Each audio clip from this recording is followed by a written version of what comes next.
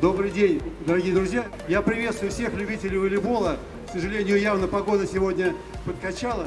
Вот, и мы рассчитывали, что у нас, за нас в Москве болеет чуть больше людей, судя по тому, сколько приходят к нам на улицу Василисы Кожаной. Но наша поддержка и ваша поддержка тех самых верных, нам особенно сейчас дорога.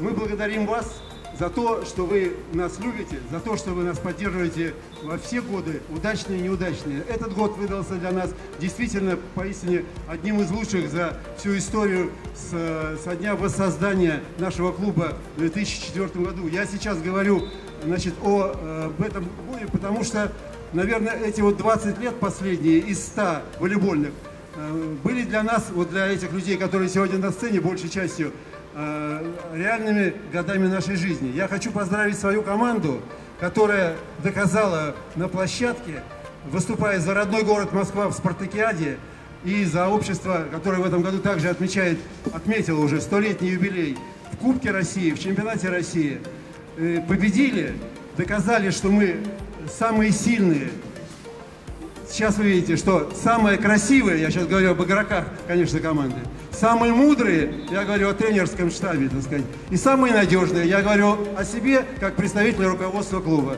Поэтому, что могу сказать? Спасибо вам, с праздником, дорогие друзья. Надеюсь, новые победы у нас еще впереди.